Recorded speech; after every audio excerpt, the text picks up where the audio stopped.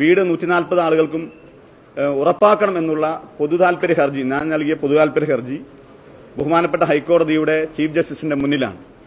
ആ വിധിയും ജനങ്ങൾക്ക് അനുകൂലമാകുന്നു തന്നെയാണ് ഞാൻ പ്രതീക്ഷിക്കുന്നത്. വിധിയുടെ പൂർണമായ വിവരം ലഭ്യമായിട്ടില്ല.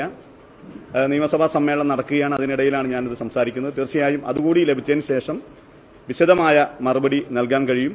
തീർച്ചയായും നമ്മളെ സംബന്ധിച്ചിടത്തോളം നമ്മുടെ നാട്ടിൽ ബഹുമാനപ്പെട്ട കോടതികൾ അവകാശത്തിനെതിരായ പോരാട്ടങ്ങൾ അഴിമതിക്കെതിരായുള്ള പോരാട്ടങ്ങൾ മികച്ച പിന്തുണ നൽകുന്നു എന്നുള്ളതാണ് ഇന്നലെ സുപ്രീം കോടതിയിൽ കർഷകർക്ക് അനുകൂലമായ വിധിയും ഇന്ന് ഈ നാട്ടിലെ സാധാരണക്കാരായ ആളുകളുടെ വീട് വെക്കുന്നതിൽ നിന്നും അനുവദിച്ച ദുബായ് സർക്കാരും അതുപോലെ തന്നെ അവിടുത്തെ ആളുകളും പിരിച്ച സംഖ്യയിൽ നിന്നും വലിയ തുക തട്ടിയെടുക്കാൻ ശ്രമിച്ച ആളുകൾക്കെതിരായുള്ള ശക്തമായ വിധിയാണ്.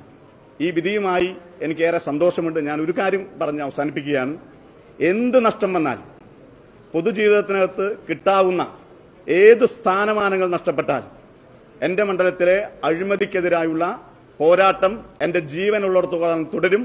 സി പി എം എത്ര തരത്തിലുള്ള നുണപ്രചരണം നടത്തിയാലും അഴിമതിക്കെതിരായുള്ള പോരാട്ടത്തിൽ നിന്നും ഉരിഞ്ച് പിറകോട്ട് പോവില്ല.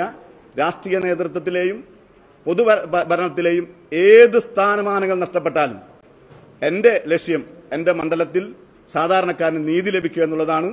അഴിമതിക്കെതിരായുള്ള പോരാട്ടം ഏത് ഭാഗത്തുണ്ടായാലും അതിനെതിരായി ശക്തമായ പ്രതിരോധം തീർക്കുക എന്നുള്ളതാണ് എന്റെ രാഷ്ട്രീയ ജീവിതകാലത്തെ ഇതേവരെ സ്വീകരിച്ചിട്ടുള്ള മുഴുവൻ നടപടിയിൽ ഈ അഞ്ച് വർഷക്കാലം നിരവധി തവണ അഡാട്ട് ഫാർമേഴ്സ് ബാങ്കുമായി ബന്ധപ്പെട്ടും. അല്ലാതെയും ഒക്കെ നിരവധി തവണ എനിക്കെതിരെ വലിയ വേട്ടയാടൽ നടത്താൻ പോയിട്ട് ഒരു ചെറിയ പെറ്റി കേസ് പോലും എനിക്കെതിരെ നടത്താൻ ഈ ഗവൺമെന്റിന് കഴിഞ്ഞിട്ടില്ല.